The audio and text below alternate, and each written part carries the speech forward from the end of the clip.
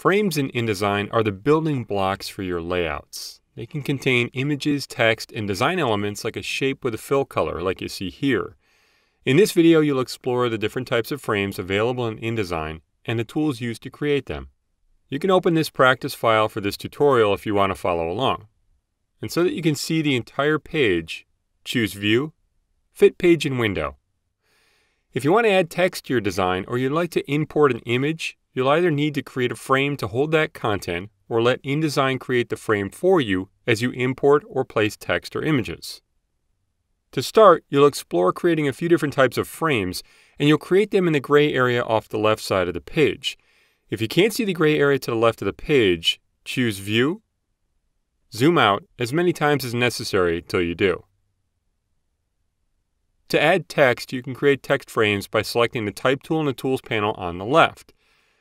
Then press and drag to create an area where the text will go. After drawing a text frame, a cursor will appear in the frame so you can add text. Now the frame tools found here in the Tools panel are used to create placeholder frames, usually for graphics like a picture or a logo.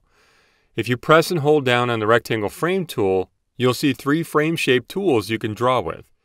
Frames drawn with any of these tools will have an X in the middle, usually to indicate that a graphic will go there. The shape tools below the frame tools in the tools panel are used to create shapes that can be used as graphic elements, like a shape filled with a color.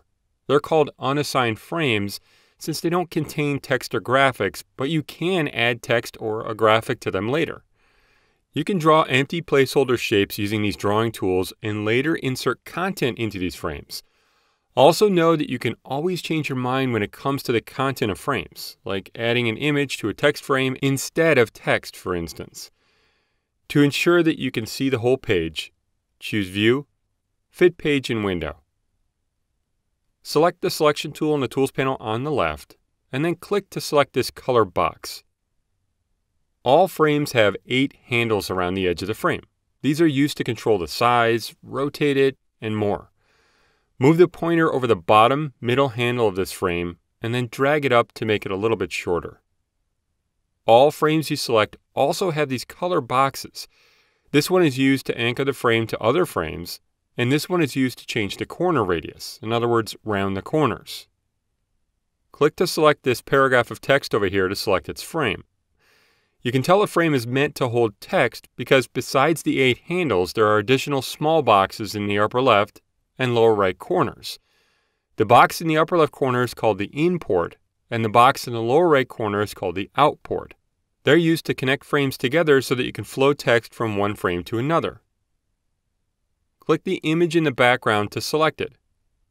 Graphics are placed in frames and can be cropped or masked by the frame, resized, and a whole lot more. To deselect the image, choose Edit, Deselect All. Understanding what frames are and how to work with them is a big first step towards adding content to your InDesign documents. As you make your way through these tutorials, you'll add content like text and graphics and be more comfortable with both creating and editing frames.